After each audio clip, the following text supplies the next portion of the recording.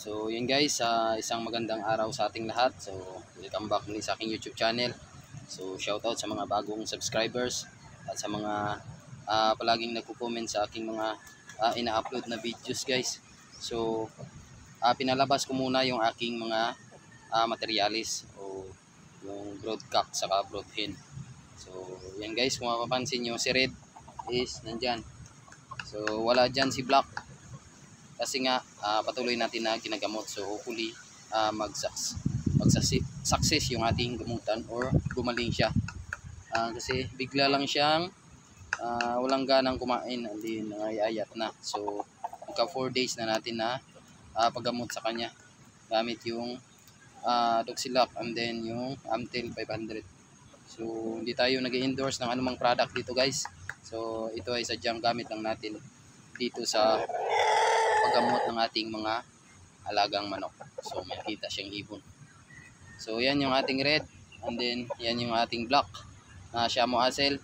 So 2 weeks pa lang guys yung sisiw niya. So hindi pa yan natin magagamit. So ito malapit na nating magamit guys. Kasi nag 1 month old na yung sisiw nito. And then sold out na yung sisiw nito guys. Si wheat and white. Yan.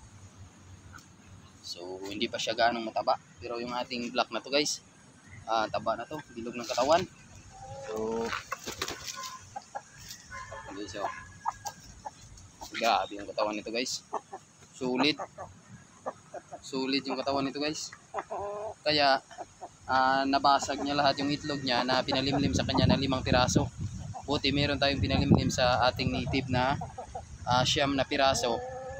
Ah, pito lang yung ah, napisa. So hanggang ngayon pito pa rin So, pasalamat tayo at meron tayong napalahi sa kanya. Yan guys. So, meron siyang bigote. Bungtan kung tawagin. Yan guys. Oh. Ang bigat. Bigatan ito guys. So, prepare, preparation natin yan for the next breeding. So, ito pala guys yung maintenance ko na vitamins. Vitamin D, D3 and then vitamin D12 vitamin B12 and then vitamin D3 so cal calcium and then multivitamins guys. Uh, ito lang yung ginagamit ko. So 3 times a week. So tag dalawang piraso. Dalawang piraso sa vitamin D12 and then sa vitamin D3 so yan guys. Yan yung maintenance ko na vitamin sa aking mga uh, alaga. So hindi tayo nagtuturok guys kasi wala tayong idea sa mga ganong uh, vitamina. So ito si Red. So hawakan natin si Red. Yan. Yan si Red guys. Yan o. So si Red na to is patuloy na nagbe-breed sa ating lubasilan. So meron na yung apat na itlog. And then inulam natin yung dalawa. so mabuti at may mga alaga tayo dito so pag wala tayong ulam libre yung uh, pangulam natin okay so ganda ng balahibo ni Red so merong puti sa buntot so hindi natin sila mapaliguan yung mga breeders natin kasi nga uh, malamig yung panahon ngayon at saka malakas yung hangin okay so at umuulan yan yan yung tabing dagat lang tayo So yun guys. So dyan lang yung manuka natin guys. Oh. Yan. So yun si Red. so shout out nga pala guys sa uh, isang kababayan natin dyan sa Persian Gulf Qatar kay Aquaros Farm.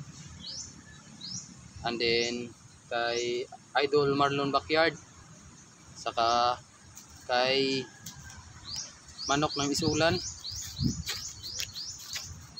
Dos Tuto Ponce shout out pakit lang siya. So yun lang muna guys yung update ko ngayon dito sa aking munting backyard. Yan so pinakita ko lang sa inyo yung ating materialis na malapit na ulit mag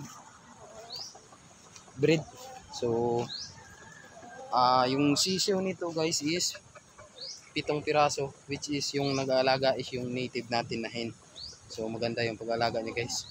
So yung ginagawa ko, um, lagyan ko ng rice hull doon sa mismong kulungan nila para may makaykay rin sila and then ah kinakain nila yung ibang natitirang butil. Kasi bagong giling yung palay na yun guys. So yan,